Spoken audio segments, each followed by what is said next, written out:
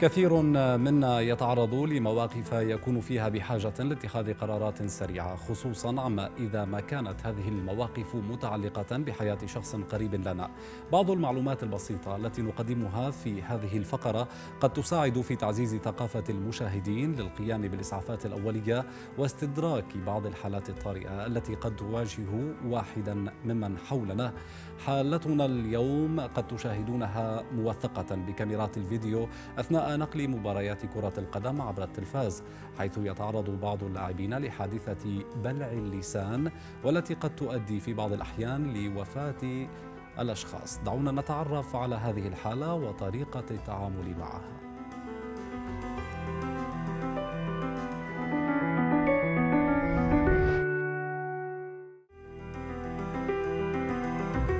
نسمع كثيرا في السنوات الأخيرة عن حالات بلع اللسان أو ابتلاع اللسان ولكننا لا نعرف ما السبب.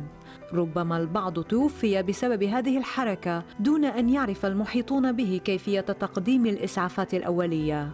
معتقدين أن هذه الحالة تحدث للإنذار بالموت فيقفون مكتوفي الأيدي ولعل الجميع رأى لاعبي كرة القدم يسقطون أرضا فجأة مع ابتلاع ألسنتهم دون أن يفهم أحد ما الذي يجب فعله.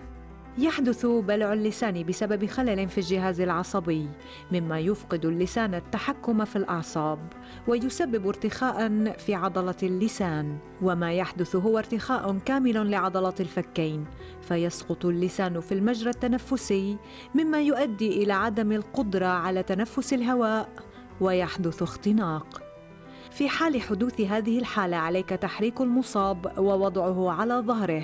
بمساعدة المحيطين ورفع ذقن المصاب مع إرجاع الرأس إلى الوراء وإمساك جبهته بيدك ثم ادفع على جبهة الشخص أو فكه. في هذه الحالة قد يعود اللسان إلى وضعه الطبيعي. قم بتغيير وضعه واجعله مستلقيا على جانبه. إذا عاد اللسان إلى مكانه قم بعمل تنفس صناعي باستخدام الأنبوب الرغمي حتى يعود التنفس للمريض. لكن كن حذرا. لا يجب عليك تحريك اللسان بيدك لأن عضلات اللسان ليست بالسهولة التي نتوقعها. فقد تسبب اختناقا للشخص المصاب. حاول ألا تدخل يدك إلى اللعاب حتى لا يطبق الشخص بأسنانه على يدك وتتمزق. تذكر أن الشخص المصاب ليس في حالة من الوعي لتذكره بأن يفتح فمه.